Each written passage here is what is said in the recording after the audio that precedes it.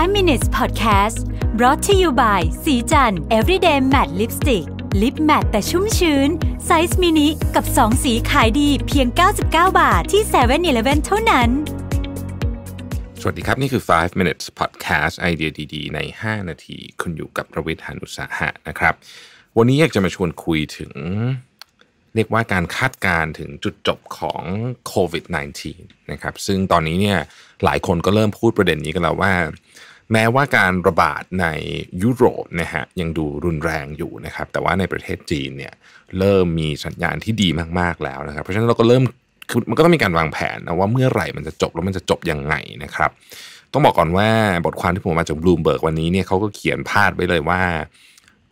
เป็น opinion นะของคอลัมนิสต์นะฮะนั่นหมายความว่าคือมันมีความเชื่อหลากหลายนะเราก็ต้องเข้าใจในประเด็นนี้ เพราะฉะนั้นเนี่ยอันนี้ก็เป็น opinion หนึ่งนะครับที่เขา ลองนำเสนอดูใช้คำนี้แล้วกันนะว่า มันก็มีโอกาสเหมือนกันที่ที่มันจะจบใน scenario ที่ผมจะพูดถึงในวันนี้นะครับอะเขาบอกว่างี้ฮะตอนนี้เนี่ยก็ต้องบอกว่าปกติแล้วนะปกติแล้วไอการระบาดของไอตระกูล influenza เนี่ยนะครับ มันก็สามารถอยู่ได้ตั้งแต่ 1 ปีนะฮะไปจนกระทั่งถึง 2-3 ปี นะครับตั้งแต่เริ่มระบาดจนกระทั่งมันคนสร้างภูมิคุ้มกันขึ้นมาหรืออะไรอย่างเงี้ยนะฮะเคสที่มีคนคาดการณ์แล้วผมเชื่อว่าหลายท่านได้มีโอกาสอ่านแล้วเนี่ยก็คือเอ่อตอนที่แชร์ของ Public Health Medicine นะครับในที่ฮ่องกง University ที่เขาออกมาพูดเกรเบลลังนะฮะบอกว่ามีโอกาสนะที่ประชากรโลกเนี่ยถึง 60%นะฮะจะติดโควิด -19 ถ้าเป็นแบบนั้นจริงๆเนี่ยนะครับ แล้วโควิด -19 เนี่ยอ่ออัตราการเสียชีวิตสมมติว่าอยู่ที่1%นะฮะตอนนี้ก็ตัวเลขก็เริ่มลดลงมาใกล้ๆ1%แล้วเนี่ยนะฮะนั่นหมายความว่าจะมีคนตายทั้งหมดเนี่ยนะฮะจากโควิด -19 เนี่ย50ล้านคน ซึ่งถือว่าเป็นเรื่องใหญ่มากๆนะนี่คือคือเคสที่รุนแรงที่สุด ซึ่ง 50 ล้านคนเนี่ยอัตราการเสียชีวิตแบบนี้เนี่ยเคยเกิดขึ้นตอนสมัยที่มี Spanish Spanish flu 1918นะฮะขออภัย 1918 นะครับผมถ้าเกิดว่า อัตราการเสียชีวิตมันลดลงไปเหลือ 0.1%ก็ยังเป็นคนจำนวนมากอยู่ดีนะฮะก็คือจะประมาณ 5 ล้านคนอะไรอย่างเงี้ยนะครับ อันนี้ก็มีโอกาสเหมือนกันที่จะที่จะเกิดได้นะครับเอ่อแต่เขาบอกว่าสิ่งที่มันน่าจะเป็นความหวังเลยตอนนี้ก็คือเรื่องของอากาศที่ร้อนขึ้นนะฮะอย่างที่ทุกท่านพอจะทราบแล้วว่าตอนนี้เนี่ยประเทศที่ดูระบาดหนักๆเนี่ยนะครับ เป็นประเทศที่มีอากาศค่อนข้างหนาวนะฮะซึ่งมัน มันเอื้อต่อการเจริญเติบโตของไวรัสนะครับ อีกเรื่องหนึ่งก็คือเรื่องของเรื่องของการ treat แต่ละกลุ่มอายุไม่เหมือนกันนะฮะเขาบอกว่าถ้าเราไปดูที่ที่จีนนะครับที่จีนเนี่ยเคสก็เป็นจะเป็นหมื่นเคสที่ประเทศจีนอย่างเดียวเนี่ยนะครับเราจะค้นพบว่าอัตราการเสียชีวิตเนี่ยมันอยู่ที่ 2 2.3%ถ้าดูทั้งหมดนะฮะแต่ถ้าเกิดมาดูแบบแยกๆเนี่ยนะครับ คนที่อายุเกิน 70เนี่ยเสียชีวิต 8%เกินเกิน 80เนี่ยเสียชีวิต 15%เพราะฉะนั้นถ้าเกิดจะอยากลดเนี่ยก็ควรจะไปโฟกัสกับกับคนที่อายุเยอะ เพราะว่ามีความเสี่ยงที่จะเสียชีวิตมากกว่าหรือคนที่มีโรคประจำตัวต่างๆ พวกนี้นะครับ ในบางซอสก็บอกว่าอ่าปีเตอร์ไวท์นะฮะปีเตอร์ไวท์นี่เป็น professor เรื่องของ virology เรื่องที่ศึกษาเกี่ยวกับไวรัสนะครับที่ University of New South New South Wales นะฮะบอกว่า ปกติพวก influenza เนี่ยมันก็จะอยู่ได้ประมาณระบาดได้ประมาณ 2-3 ปีนะครับแล้ว immunity มันก็จะถูกสร้างขึ้นมาเอง แต่ว่าใน best case scenario เนี่ยนะครับตัวปีเตอร์ไวท์เนี่ยเขาก็บอกว่าคาดว่าวัคซีนเนี่ยจะ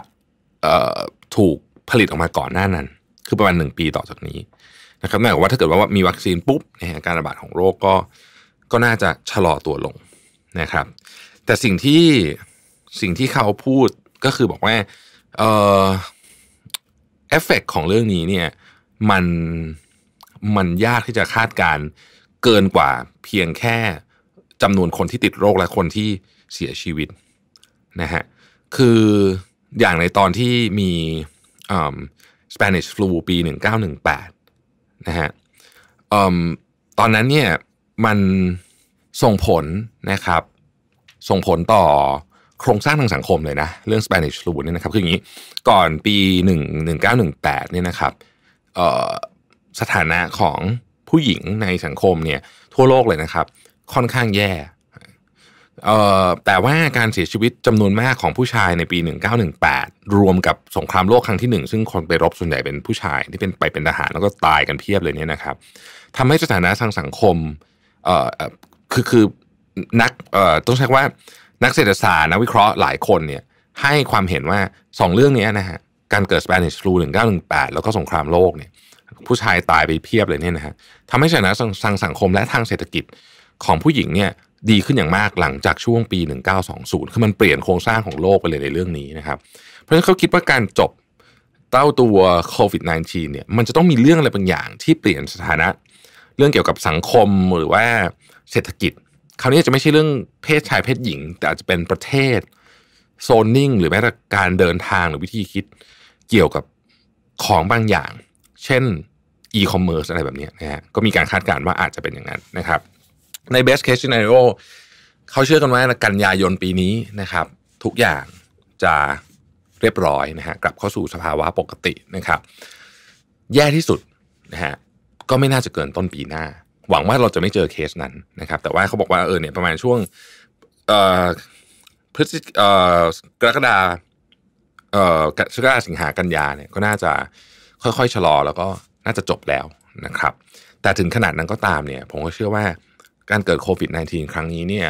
ส่งผลต่อการเปลี่ยนแปลงอะไรบนโลกเราเนี่ยเยอะมากนะครับ และยังไม่สามารถคาดการได้ เราก็ได้แต่หวังว่ามันจะไม่รุนแรงไปมากกว่านี้ ขอบคุณที่ติดตาม 5 minutes นะครับ สวัสดีครับ 5 minutes podcast presented by สีจัน everyday matte lipstick lip matte size mini